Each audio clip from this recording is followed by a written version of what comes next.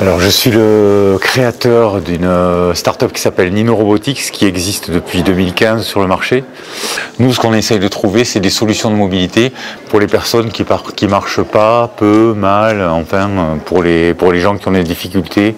Et je suis dans le, dans le monde de la, de la mobilité urbaine en essayant de trouver des solutions pour tous ces gens-là qui représentent à peu près 20% de la population en France. Mon ambition pour l'avenir, c'est euh, d'un petit peu de, à travers les machines que nous créons, c'est d'abord de redonner de l'estime de soi. C'est-à-dire que le design chez, nous ne sert pas à rendre beau l'objet, le design sert à rendre beau la personne et à changer les rapports avec les gens.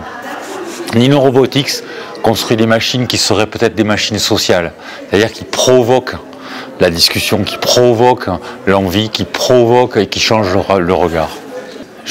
Venu à Move 2019 pour euh, deux raisons essentielles. La première parce que c'est Grenoble et que Grenoble est un véritable laboratoire pour plein de choses, mais y, compris pour la mobilité. C'est toujours une occasion de venir prêcher, de venir expliquer mon point de vue. Et c'est pas parce que je suis en fauteuil roulant que je ne pense pas à la mobilité de ceux qui peuvent encore marcher, mais pas longtemps.